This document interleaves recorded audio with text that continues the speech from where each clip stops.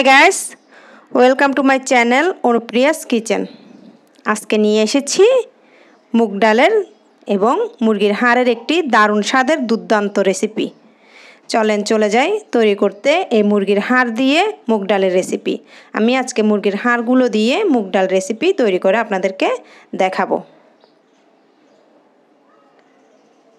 প্রথমে আমি মুরগিগুলোর হাড়গুলোকে ভেজে নিয়েছি। ওই একই তেলে মুগ ডালের, একটু আগে যে পানি ঝরিয়ে রেখেছিলাম মুগ ডালগুলোকে, সেগুলো লবণ দিয়ে ভেজে নিচ্ছি। জাস্ট লবণ দিয়ে ভাজবো, এখানে কোনো হলুদ অ্যাড করিনি, তারপরও কালারটা কি দুর্দান্ত এসেছে দেখুন। মুগ ডালের কালারটা দেখতে আমার কাছে খুবই ভালো লাগে, একদম হলুদ। এগুলো আমি ভালোভাবে ভেজে নিব নেড়ে চেড়ে, যাতে তলা দিয়ে পুড়ে না যায়। নিচ দিয়ে যদি পুড়ে যায়, খাবারটা খেতে ভালো লাগবে না, খুবই বাজে লাগবে।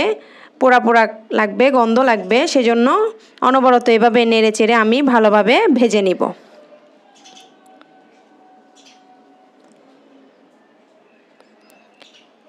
কিছুক্ষণ পর পর এভাবে নেড়ে চেড়ে দিব, যাতে নিচ দিয়ে লেগে না যায়।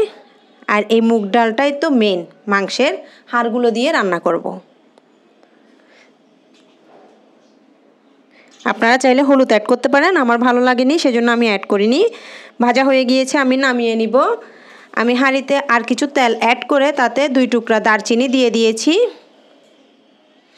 এখন দিয়ে দিলাম দুইটা তেজপাতা। দেওয়া হয়ে গেলে আমি একটু ভেজে নিব, এখান থেকে খুব দারুণ একটি স্মেল বের হয়েছে। এখন আমি দিয়ে দিব পেঁয়াজ কুচি। পেঁয়াজ কুচিগুলো ভালোভাবে ভেজে নিব। নরম হওয়া পর্যন্ত যখন পেঁয়াজ কুচিগুলো নরম হয়ে যাবে, তখন আমি এখানে অ্যাড করে দিব অন্য মশলা। আমি অ্যাড করে দিলাম টমেটো, আদা, রসুন একসাথে ব্লেন্ড করা। আমি ব্লেন্ডারে ব্লেন্ড করি, সেজন্য একটু পানি পানি হয়। আপনারা চাইলে পাটায় করে নিতে পারেন, কোনো সমস্যা হবে না। আর আমি টমেটো আজকে একসাথে ব্লেন্ড করে নিয়েছি। তার কারণ হচ্ছে টমেটোর যে একটা কাঁচা গন্ধ আছে, সেটাও যাতে আদা, রসুনের সাথে একসাথে কষে গন্ধটা চলে যায়, সেজন্য আমি টমেটোটাকে একসাথে ব্লেন্ড করে নিয়েছি, কষা হয়ে গিয়েছে। এখন দিয়ে দিচ্ছি এক চা চামচ হলুদের গুঁড়া, এক চা চামচ মরিচের গুঁড়া, এক চা চামচ ধনিয়ার গুঁড়া এবং এক চা চামচ জিরার গুঁড়া।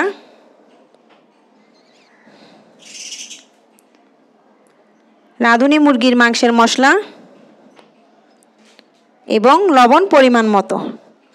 যেহেতু আমি মাংসকেও একটু লবণ দিয়ে ভেজে নিয়েছি এবং মুগ ডালকেও একটু লবণ দিয়ে ভেজে নিয়েছি, সেজন্য লবণটা পরিমাণ বুঝে দিবেন। কেউ লবণ একটু বেশি খায়, কেউ একটু কম খায়, যার যার পছন্দ অনুযায়ী বা পরিমাণ বুঝে সে ব্যবহার করবেন। এভাবে আমি মশলাটাকে কষিয়ে নিব, কারণ মশলাটা ভালোভাবে কষলে রেসিপিটা বা তরকারিটা খেতেও ভালো লাগবে। মশলা কষানোর উপর অনেক কিছু নির্ভর করে। আমি দিয়ে দিচ্ছি একটু আগে যে মাংসগুলোকে আমি ভেজে রেখেছিলাম বা হাড়গুলোকে ভেজে রেখেছিলাম, সেই হাড়গুলো আমি এখানে অ্যাড করে দিচ্ছি। হাড়গুলো নাড়াচাড়ার পরে আমি এখানে মুগ ডালগুলোকেও অ্যাড করে দিব। অনেক তো এভাবে মুগ ডাল দিয়ে রান্না করে খেলেন কাঁচা মাংসকে। এবার একটু ভাজি করে এভাবে রান্না করে খাবেন। দেখবেন খুবই দুর্দান্ত স্বাদের হয়েছে।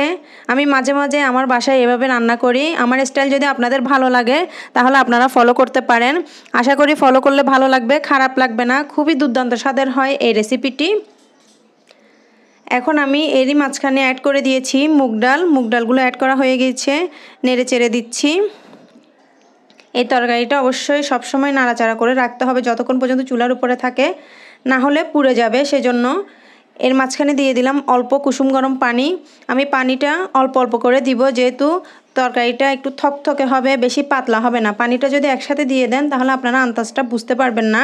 হয়তো বা বেশি পাতলা হয়ে যাবে, না হলে নিচ দিয়ে লেগে যাবে। সেজন্য পানিটা অল্প অল্প পরিমাণে দিবেন, দিয়ে নাড়াচাড়া করবেন। এভাবে দুই তিন মিনিট পর পরে নাড়াচাড়া করে দিবেন, তাহলে আপনাদের তরকারিটা নিচ দিয়ে লাগবেও না এবং খুবই সুন্দরভাবে আপনারা যে অনুযায়ী চান, সে অনুযায়ী তরকারিটা তৈরি করে নিতে পারবেন।